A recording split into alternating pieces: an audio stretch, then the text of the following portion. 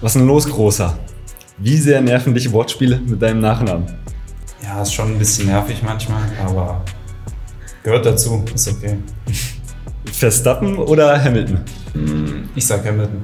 Welches Ritual hast du vor dem Spiel? Ich habe eigentlich keins, also es gibt da keins oder kein bestimmtes, was ich habe. Elbflorenz oder das Tor zur Welt Hamburg? Help Florenz. Worauf freust du dich in der kommenden Saison am meisten? Ja, auf die Fans, äh, vor den Fans zu spielen und Gas zu geben für den Verein. Max, vielen Dank. Danke.